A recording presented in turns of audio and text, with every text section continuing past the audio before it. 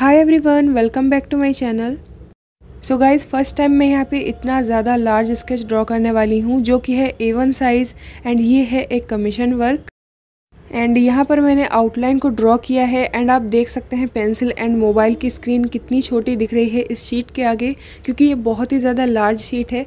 And मैंने इससे पहले कभी भी ए वन साइज़ का शीट पर कभी भी ड्रॉ नहीं किया है. तो फ़र्स्ट टाइम मैं ड्रॉ कर रही हूँ. एंड ये जो शीट है गाइज़ वो है आइवरी शीट एंड ये 250 फिफ्टी का है, जो कि काफ़ी थिक पेपर है। एंड यहाँ पर आज हम रियलिस्टिक आइज़ की ड्राइंग देखेंगे। तो रियलिस्टिक आइज़ को मैंने शेड किया था, वहीं आपके साथ मैं यहाँ शेयर कर रही हूँ। यहाँ पर मैं चारकोल पेंसिल का यूज़ कर रही हूँ, क्योंकि यहाँ पे आईब्रोज़ है, वो भी काफ़ी ज़्यादा लार्ज दिख रहे हैं, क्योंकि ये ए वन साइज़ की शीट है। तो यहाँ पर मैंने चारकोल में कैमलिन का सॉफ्ट चारकोल पेंसिल यूज़ किया है। चारकोल पेंसिल से काफ़ी रिज़ल्ट अच्छा आता है एंड ईजी होता है लार्ज एरियाज़ को ड्रॉ करने में।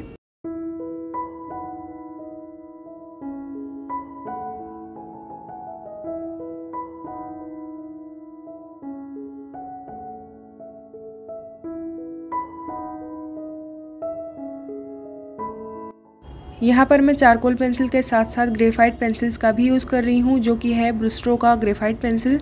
एंड इसके साथ साथ मैं इसको ब्लेंड करने के लिए ब्रश का यूज़ करूँगी। एंड हाईलाइट प्रोवाइड करने के लिए ज़ीरो इरेज़र का।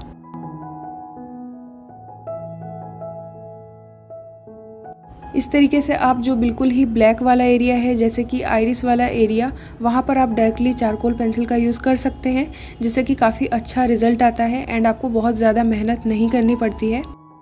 एंड इस तरीके के ए वन साइज़ पे अगर आप ड्रॉ कर रहे हैं सिंगल फेस को ड्रॉ करते हैं तो काफ़ी ज़्यादा बड़े बड़े साइज़ में आपको आइज़ नोज़ दिखते हैं। एंड जिसको ड्रॉ करना थोड़ा सा मुश्किल हो जाता है थोड़ा सा ये टाइम टेकन होता है तो आप किस तरीके से ड्रॉ कर सकते हैं ईजी वे में। सो so, उसके लिए मैंने ये ट्यूटोरियल अपलोड किया है जिससे कि आपको काफ़ी हेल्प मिलेगी लार्ज आइज़ को ड्रॉ करने में।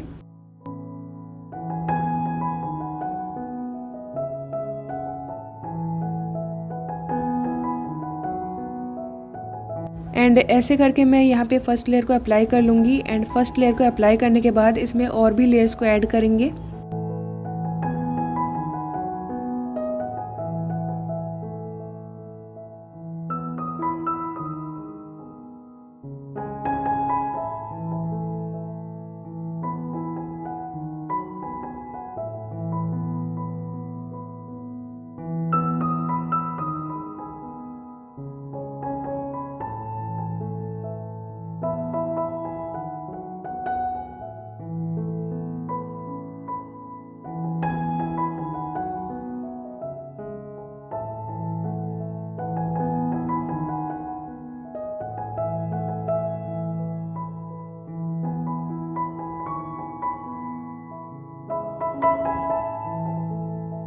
एंड इसके बाद इसको ब्रश की हेल्प से मैं ब्लेंड कर रही हूँ। तो ब्लेंड करने के बाद इसका रिज़ल्ट आप देख सकते हैं, काफ़ी स्मूद आ रहा है, क्योंकि यहाँ पर हमने काफ़ी स्मूद तरीके से शेडिंग की है।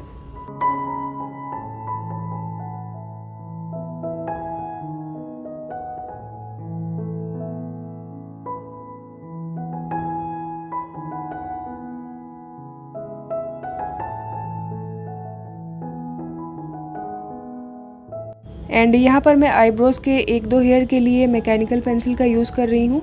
इससे काफ़ी लाइट हेयर्स को हम ड्रॉ कर सकते हैं।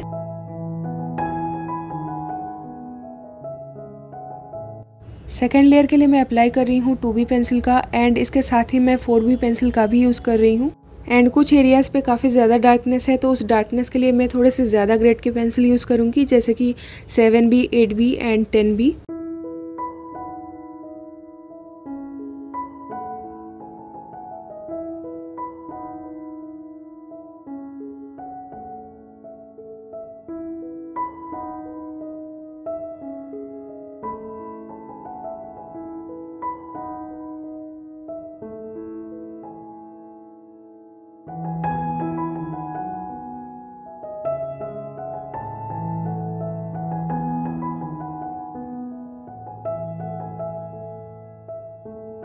and यहाँ पर मैं स्किन के डिटेल्स के लिए यूज़ कर रही हूँ ज़ीरो इरेज़र का एंड उसके बाद मैं उसको वापस से ब्लेंड कर रही हूँ एंड डिटेल्स भी ऐड कर रही हूँ।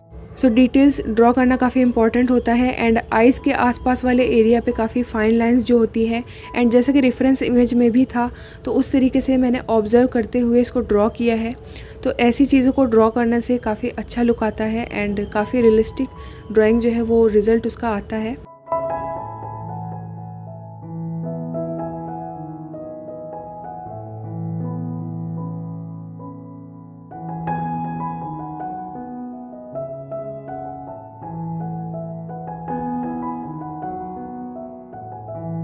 सो so, इस तरीके से हम आइज़ की ड्राइंग को कंप्लीट करेंगे एंड सबसे लास्ट में हम यहाँ पे ड्रॉ करेंगे आई को। एंड हमेशा आपको लास्ट में ही आई को ड्रॉ करना है नहीं तो आपका जो ड्राइंग है वो थोड़ा सा बनाना मुश्किल हो जाएगा। एंड ब्लेंड करेंगे तो वो फिर फैल जाएगा तो हमेशा आपको लास्ट में ही आई को ड्रॉ करना है।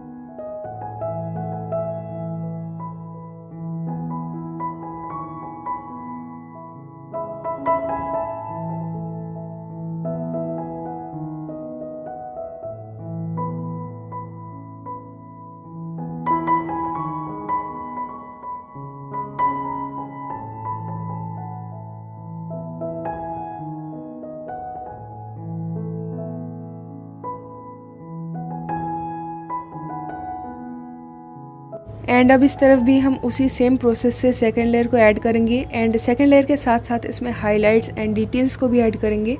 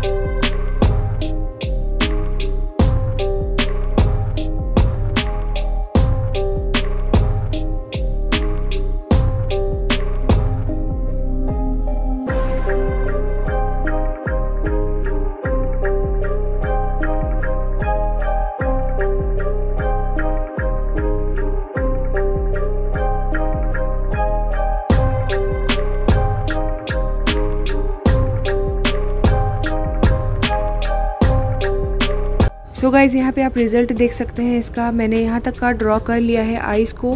एंड इसको ड्रॉ करने में मुझे पूरे तीन घंटे लगे थे। सो so गाइज़ अगर आप भी इसी तरीके का लार्ज ड्राइंग करते हैं, अगर इस तरीके का कोई भी अगर आप कमीशन वर्क हो, कैसा भी वर्क हो तो उस पर आपको अपना पूरा टाइम देना पड़ेगा।